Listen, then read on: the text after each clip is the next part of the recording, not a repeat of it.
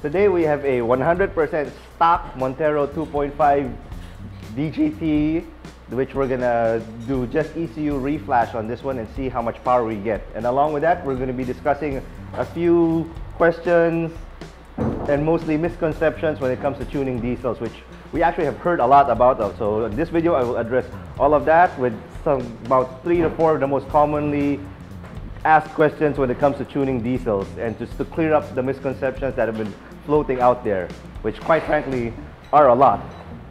All right, these are the top five questions that we often get here in the shop when people come and ask when they're inquiring about remap is, well, number one, do I need to install intake and exhaust before getting a remap? What about if my engine is just stock? Is it okay? Will it be smoky or mausok? Yan. Actually, this I think should be number one. What about fuel consumption? And number five, what about the throttle controller that I already have installed? What's going to happen to it? So we'll tackle it one by one. Do I need to install an intake exhaust before I do remap? No. There's your answer. You don't absolutely need to change your intake and exhaust to get power from a remap. You can remap a completely stock vehicle, which takes us to question number two. And you will still gain pretty good power. But if you do have an intake and exhaust, you will get more power as compared to when you simply remap stock. Let's take for example, Montero 1, Montero 2. This one stock. This one has intake and exhaust. So let's say stock we have 150 horse. With intake and exhaust, we're at around 162 horse. When we remap both, this will reach around 210. This one, with everything being the same, all the settings, this one will be around 225, maybe 230. So yes, there is a difference if you remap between stock and if you have mods like intake and exhaust. You will get more horsepower and you will maximize it more if you change this one. Uh, Tapos may piloso pa. What if intake lang? Yes, it will still be better than stock. What if exhaust lang?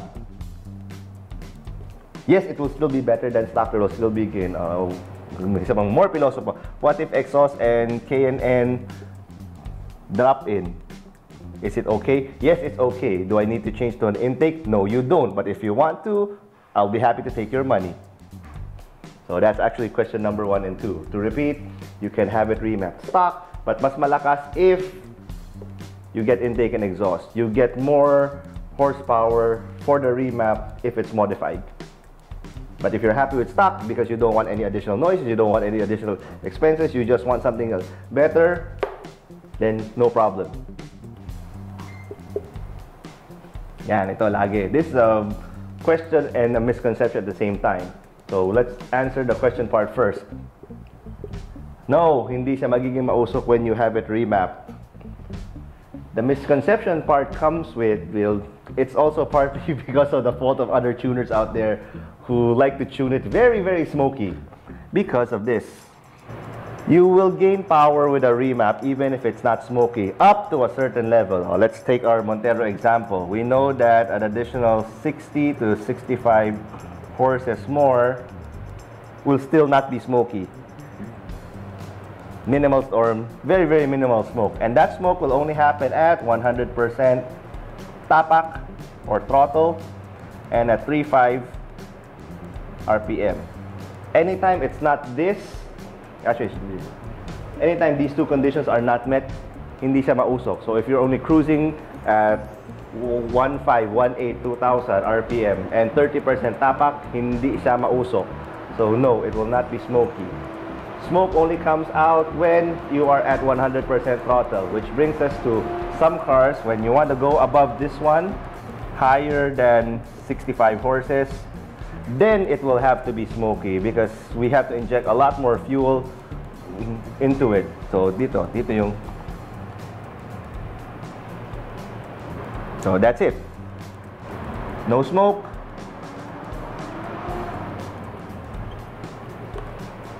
This refers to 100% throttle. Now, you, I'm sure you've seen also some cars that yung pagka-start pa na, pagka-start, mausok na agad. That is wrong. You're not, it, tuning is not supposed to work that way. Uh, as much as possible, we do not actually mess with the idle of the car. There's absolutely no tuning done at that part. So, it should drive pretty much like stock. Yung mga cars na nakita mo na pagka-start, mausok pa lang, may ginagawa yung tuner dun na pagka-start pa lang, buhos ka agad ng crudo. Uh, that's wrong. Most people don't want that actually. Most of you have this one because you get suckered by the Facebook ad. Tanga ka, bumili ka niyan eh.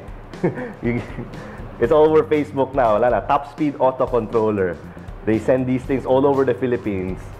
And you bought one because, hey, you're an idiot. You got suckered by it. But it works. It does what it says. It makes the throttle faster. Nothing more, nothing less.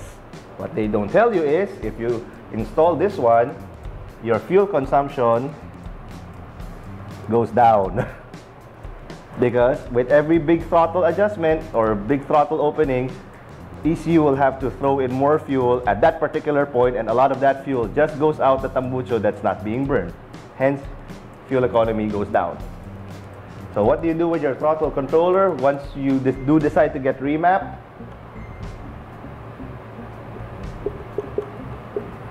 Benta mo na, pangbawi sa remap. And just charge it to experience and not to get easily swayed by Facebook marketing ads. You can sell it to a friend too. Now, fuel consumption.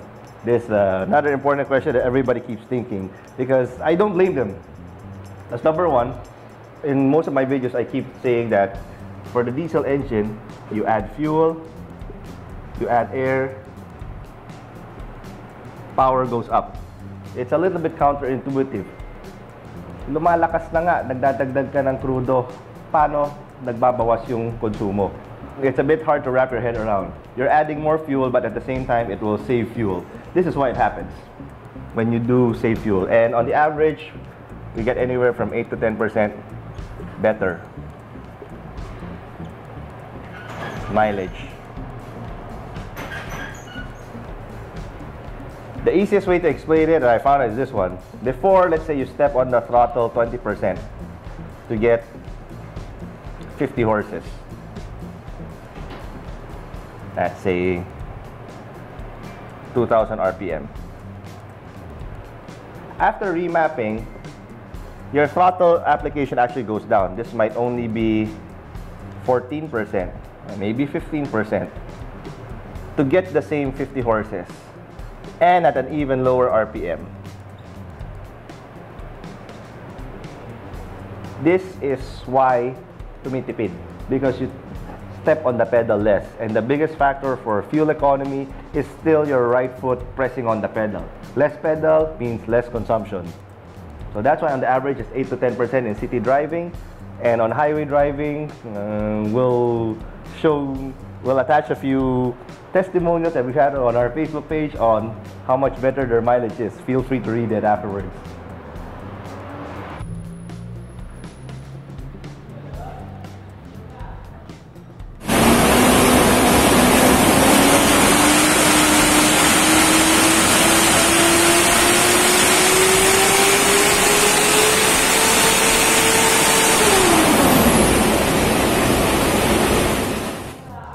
Okay, we're done with our Montero remap and then this is a bit surprising. In stock form, it only makes 123 horses, which is absurdly low for a VGT equipped Montero. Uh, normally these things we should see about 145, 150. Mm, surprising, but not quite surprising because we've seen this type of abnormality before in Mitsubishis. Don't ask me why it's like that, but it's, I can tell you why the power is low, but I can't tell you why it was like that from the factory. So anyway, this is our first tune here, this green line. This one is not exactly minimal smoke, but borderline smoky. Then we see how much more we can take it. So this blue line is our next tune because we want to try to make around 200. This is a pretty smoky tune already, which the owner doesn't want, so we're gonna bring it back down to this green one. The reason why it smokes is this. This is stock air-fuel ratio right here. Uh, it's 20 is to 8, but that's just the maximum our dyno can read. It could possibly be 22 or 21 air-fuel ratio. Then this is our initial tune, the green one here. So this is still not smoky because the how do we determine if it's smoky or not if it crosses this 14.5 line. As the air fuel ratio gets near here or goes down like our next tune, see how the blue line dips, goes down, goes straight and goes down. This one mausok. Ito hindi. And as for why this car is kind of bad to begin with or low power, it's because the boost is low. it starts off absurdly low at only 6 psi, then ramps up to 18. Uh, that's low. So what we did was we increased the boost here at the very bottom. So from 6 psi, we jump it all the way up to 22 on the get-go. So that's why our maximum gain is actually this one. From 40 horse to 155 horse. That's 115 horses right then and there. and torque also, we jump it from 150 at 2000 RPM to 475 at a very low 21 and 2250 RPM. So once again, with our five uh, questions and misconceptions, most of these things, actually, if you go to some guy who remaps without a dyno, they won't be able to tell you any of this. None. And this is why also you need a dyno because we need numbers, we need baseline, we need a point of reference on where to adjust and to see if the adjustments that we did are getting you more power, getting you less power, and if it's up to what is already tama or sagad pa ng konti or bawas ng konti. You won't be able to tell that just by driving it on the road.